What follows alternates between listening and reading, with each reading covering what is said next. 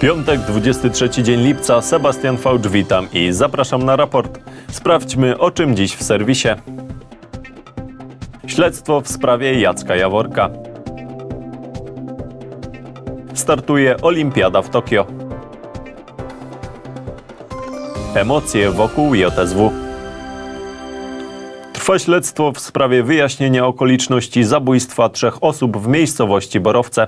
Kluczowe dla sprawy mają się okazać zeznania jedynego świadka, 13-letniego chłopca, który w momencie tragedii był w domu. Dwa tygodnie po tragedii, jaka rozegrała się w tym domu w miejscowości Borowce, najważniejszy świadek w sprawie, 13-letni chłopiec został przesłuchany. 10 lipca 13-latek był w domu z rodzicami i 17-letnim bratem, kiedy doszło do strzelaniny, w wyniku której śmierć poniosły trzy osoby. Z nieoficjalnych informacji wynika, że chłopiec po tym, jak usłyszał strzały, zdążył się schować przed zabójcą, a później zbiec i znaleźć schronienie w sąsiednim domu. Czy te same zeznania usłyszeli dziś prowadzący sprawę śledczy? Nie wiadomo. Prokuratura nie ujawia bowiem treści zeznań. to nie ujawniamy póki co niczego. Tak, takie przesłuchanie małoletniego odbywa się w specjalnym trybie przed sądem z udziałem psychologa. Co do zasady powinno się ono odbyć tylko jeden raz. Jest e, rejestrowane za pomocą urządzeń utworujących obraz i dźwięk. Na wyznaczenie terminu w tej sprawie czekano aż dwa tygodnie. Do tragedii doszło 10 lipca. Także dziś zapadła jeszcze jedna ważna decyzja w związku z prowadzonym śledztwem. A jakaś zmiana w, w postępowaniu to to, że sąd uwzględnił wniosek i mamy europejski nakaz aresztowania. Nakaz potwierdza to, o czym śledczy mówili już kilka dni temu, że poszukiwania Jacka Jaworka, podejrzanego o dokonanie zbrodni na trzech osobach, prowadzone są teraz intensywnie również za granicą. Do sprawy będziemy wracać na naszej antenie. Emocje wokół JSW nie maleją. W poniedziałek kończy się nabór wniosków z aplikacjami na stanowisko prezesa spółki, a za 10 lat kończy się gwarancja zatrudnienia pełnomocników zatrudnionych przez ostatni zarząd. O szczegółach Kinga Jamieła. Na początek kilka dat. 1 marca tego roku prezesem Jastrzębskiej Spółki Węglowej zostaje Barbara Piątek. 1 lipca przed siedzibą spółki odbywa się olbrzymia pikieta zorganizowana przez Związek Zawodowy Solidarność. Tydzień po tym wydarzeniu Rada Nadzorcza odwołuje niemal cały zarząd z prezes Barbarą Piątek na czele. Pani prezes nie ma, ale pozostają zatrudnieni przez nią pełnomocnicy. E, Sprawa od początku budzi kontrowersje, bowiem jak nieoficjalnie się mówi, te osoby miały zarabiać około kilkunastu tysięcy złotych miesięcznie. Teraz e, te stanowiska są likwidowane, ale tych osób piastujących stanowiska pełnomocników zwolnić nie można. Barbara Piątek mm, zawarła bowiem z nimi umowę dającą dziesięcioletnią gwarancję zatrudnienia. Co dalej będą wykonywać te osoby w spółce, tego nie wiadomo. O tym ma zdecydować już nowy zarząd. Wiadomo, że stanowisko utrzymał jedynie były szef katowickiej delegatury CBA sprzed siedziby Jastrzębskiej Spółki Węglowej dla raportu Kinga Jamioła. Rozpoczynają się Igrzyska Olimpijskie w Tokio. Pomimo tego, że z powodu pandemii odbywają się z rocznym opóźnieniem, to nadal nie brakuje wokół nich wielu kontrowersji. Igrzyska Olimpijskie w Tokio. Chociaż miały odbyć się w zeszłym roku, to jak wiele imprez zostały przeniesione z powodu pandemii koronawirusa. Olimpiada to kwintesencja sportowej rywalizacji, do której zawodnicy przygotowują się latami. 32 letnie Igrzyska Olimpijskie będą jednak inne. Na trybunach zabraknie kibiców, a sami mieszkańcy Tokio w wielu protestach manifestowali swój sprzeciw wobec organizacji imprezy. Nie zmienia to jednak faktu, że zawodnicy reprezentujący 205 krajów dadzą z siebie wszystko, by przejść do olimpijskiej historii i wrócić ze stolicy Japonii bogatszym o medal. Sportowcy tym razem będą rywalizowali w 339 konkurencjach w 37 dyscyplinach sportowych. Łącznie na tegorocznych igrzyskach zostanie rozdanych 339 kompletów medali. To rekord w historii imprez tej rangi. Nie zabraknie również nowych konkurencji obecnych już dyscyplin. Kibice będą mogli obserwować m.in. bardzo dynamiczne mecze koszykówki 3x3 czy kolarstwo BMX Freestyle.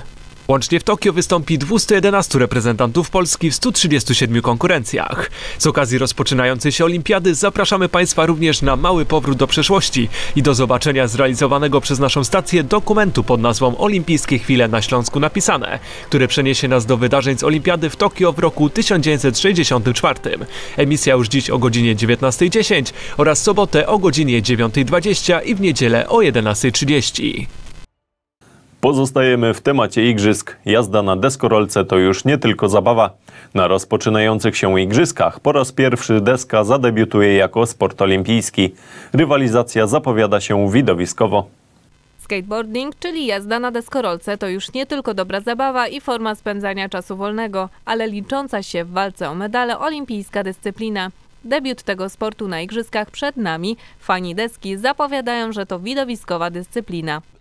Oficjalnie ogłosili deskorolkę na igrzyskach przed Rio de Janeiro 4 lata temu e, właśnie i powiedzieli, że to jest jeden z pięciu sportów, który wejdzie i wszedł. My przez ostatnie 4 lata też jako Polski Związek Sportów Wrotkarskich przygotowywaliśmy się do tego, żeby e, przygotować kadrę i nasza, nasza zawodniczka Amelia Brodka e, awansowała na igrzyska na 17 pozycji i właśnie już jest w Tokio i się przygotowuje do startów. Co ciekawe, w tej nowej olimpijskiej rywalizacji weźmie udział także reprezentantka Polski.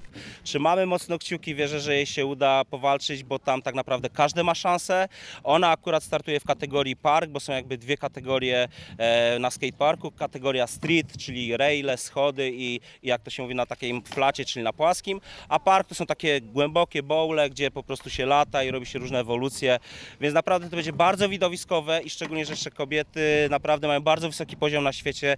Lekcje z jazdy na deskorolce odbywają się w wielu miastach w województwie śląskim. My pojechaliśmy do Dąbrowy Górniczej. A relacje z tej przygody zobaczycie już jutro o godzinie 9 na naszej antenie w programie Czas na wakacje. W akademikach na Uniwersytecie Śląskim od października będą mogli przebywać tylko zaszczepieni studenci. Taką decyzję podjął rektor uczelni profesor Ryszard Koziołek. Przypomniał również, że studenci mogą się bardzo szybko i łatwo zaszczepić w ramach Narodowego Programu Szczepień. Śląskie uczelnie przygotowują się na nowy rok z nadzieją, że studenci w końcu powrócą do nauki stacjonarnej. Rektor Uniwersytetu Śląskiego wyraził nadzieję, że sytuacja epidemiczna do października nie ulegnie znaczącemu pogorszeniu. Aby powrót w uczelniane mury był bezpieczny, profesor Ryszard Koziołek zachęca studentów do szczepień przeciwko COVID-19, ale zapewnił, że certyfikat szczepień nie będzie wymagany, by podjąć zajęcia stacjonarne. Jednak problem pojawia się przy zameldowaniu w akademikach.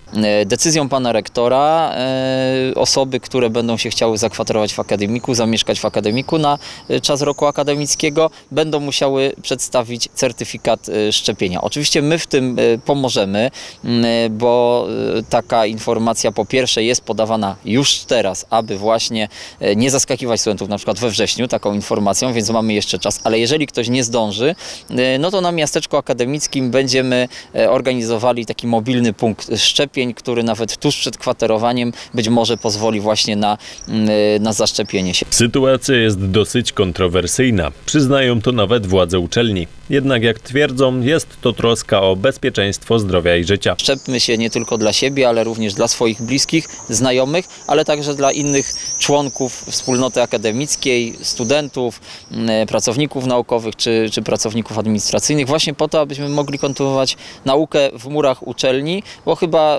wszyscy, myślę, e, jesteśmy zmęczeni tym nauczaniem zdalnym. Powrót do zajęć stacjonarnych na Uniwersytecie Śląskim planowany jest od nowego roku akademickiego, czyli od października. W Polsce przybywa zakażeń wariantem Delta. W województwie śląskim także. Państwowa Inspekcja Sanitarna zarejestrowała około 200 przypadków wariantu Delta koronawirusa. Dziś odbyła się kolejna konferencja prasowa dotycząca sytuacji pandemicznej w kraju. Mniej więcej od tygodnia, dwóch tygodni mamy już do czynienia z przesileniem, mamy do czynienia ze wzrostem. W tej chwili ten średni poziom zakażeń dzienny dochodzi już do 100. E, Blisko 33,5 miliona to jest liczba wszystkich wykonanych e, szczepień jak do tej pory. E, 17, prawie 18 milionów to jest liczba osób, które przyjęły pierwszą dawkę i 16 milionów 750 tysięcy to jest liczba osób e, w pełni zaszczepionych. Procentowo rzecz ujmując, 56% dorosłej populacji to osoby zaszczepione co najmniej jedną dawką bądź zarejestrowane na szczepienie. Proszę Państwa, e, to są liczby z jednej strony duże, ale z drugiej strony wciąż e, niesatysfakcjonujące. Dzisiaj podczas konferencji odniesiono się także do mieszania szczepionek. Chcemy dopuścić schemat szczepienia, który dopuszcza możliwość mieszania szczepionek. To jest warunkowane oczywiście zgłoszeniem niepożądanego odczynu poszczepiennego. Wirus SARS-CoV-2 odpowiedzialny za chorobę COVID-19 przechodzi ciągłą mutację. Odnotowano już m.in. wariant brytyjski. W Filharmonii Śląskiej odbyła się konferencja na temat Europejskiego Forum Przyszłości. Zarząd Województwa Śląskiego wraz z gigantem z Doliny Krzemowej, akceleratorem Plug and Play, ogłosił konkurs dla startupów, którego finał odbędzie się podczas Forum Przyszłości na Stadionie Śląskim.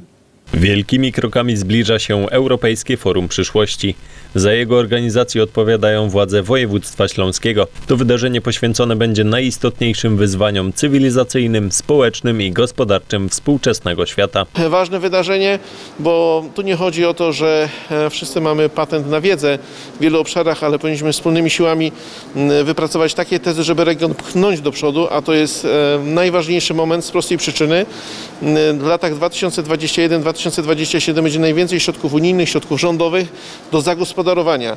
Wydarzeniu towarzyszyć będzie wiele atrakcji. Jednym z nich jest konkurs dla startupów, w których do wygrania nawet 150 tysięcy złotych. E, Uważam, że bez połączenia tych kilku elementów, w tym samorządu, e, ciężko jest mówić o tworzeniu ekosystemu startupowego i o tworzeniu fajnej infrastruktury dla startupów, żeby chciały się tu rozwijać, a nie uciekały gdzie indziej. Więc dobrze, że, że e, Zarząd Województwa wykonał pierwszy krok do tego, żeby, żeby w ten ekosystem inwestować. Kluczową rolę w Europejskim Forum odegra również Filharmonia Śląska. E, Jako jedyna sala koncertowa w Europie, która posiada system e, jak gdyby do wyświetlania hologramów oraz e, nowoczesny system e, kamer i sprzętu e, audio-wideo, stworzymy pierwszy w historii w pełni prawny e, koncert z hologramem. To hologram e, częściowo e, będzie tworzyć e, ten koncert, to hologram będzie również dyrygować orkiestrą. Europejskie Forum Przyszłości odbędzie się w dniach od 6 do 8 października bieżącego roku na Stadionie Śląskim. Racibórz zmienia się w dawny Ratibor. W mieście powstaje nowy szlak turystyczny. Można na nim zobaczyć najpiękniejsze zakątki dawnego Raciborza.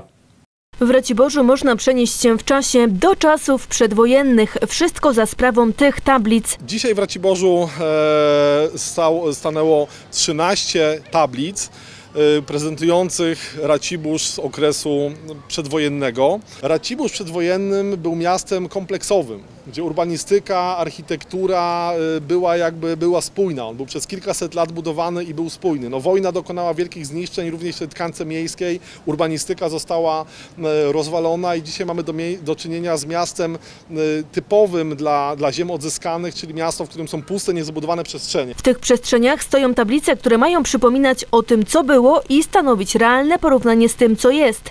Tablic jest 13. W przyszłym roku mają pojawić się kolejne. Stoją w tych samych miejscach, w których przed laty wykonane zostały fotografie. Były teatry, ale były miejsca handlowe, ale były, e, było Cafe Residence, e, był, było Ritz Cafe. E, Także myślę, że cieszmy się Raciborzem, taki jest dzisiaj, ale pamiętajmy jakie ma korzenie i czerpmy, inspirujmy się tą myślą architektoniczną i urbanistyczną, która była tu obecna przed wojną. Tablice można zobaczyć m.in. na rynku, przy dworcu PKP, ulicy Opawskiej, przy placu Długosza czy obok Zamku Piastowskiego. W Raciborzu ma powstać także miejski szlak turystyczny, który miejscami będzie się krzyżował z retro Raciborzem. Rusza kolejny sezon Ekstraklasy. Na najwyższym szczeblu rozgrywek po raz pierwszy od 1998 roku będzie rywalizować 18 zespołów. Bezpośredni awans wywalczyły Radomiak i Brookbet Termalika, a po barażach Górnik Łęczna. W tym sezonie kibice nie będą mogli narzekać na nudę, bowiem w barwach Górnika Zabrze występuje Łukasz Podolski, mistrz świata z 2014 roku.